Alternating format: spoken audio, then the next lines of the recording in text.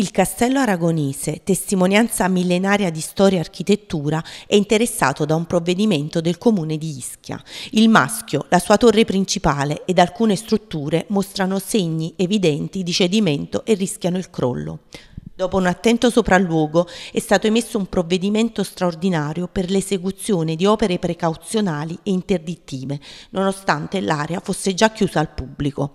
Un'ordinanza urgente del comune di Ischia ha sancito l'interdizione dell'area in attesa di interventi per eliminare i pericoli emersi.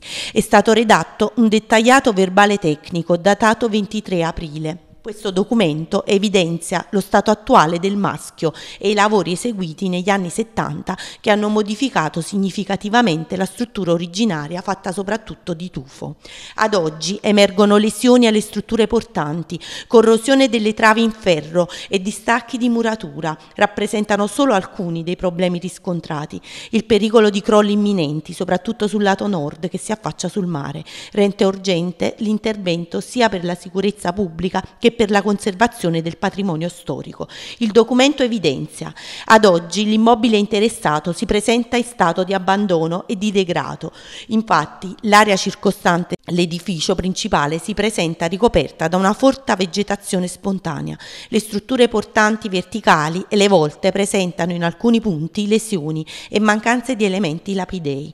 Le lamiere grecate e le travi di soppalchi presentano forti segni di corrosione, soprattutto ai piani piani superiori, dovuti probabilmente alle copiose infiltrazioni d'acqua piovana dalla copertura e dalla mancanza di manutenzione. Dal punto di vista della pubblica e privata incolumità non si può escludere che in mancanza di opere provvisionali eventuali crolli interessino alcune zone, soprattutto sul lato nord che affaccia sul mare.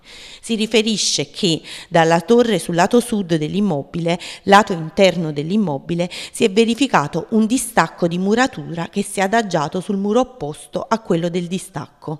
Poi, essendo il maschio vincolato ai sensi della legge 1089-1930 39 si rende necessario un urgente sopralluogo da parte della soprintendenza di Napoli per le valutazioni di competenza nelle more della realizzazione degli interventi di restauro e consolidamento da parte della società proprietaria, la realizzazione ad horas di opere provvisionali ed interdittive, di non frequentare e far frequentare il maschio del castello aragonese fino alla presentazione del certificato di eliminato pericolo da parte di tecnico abilitato.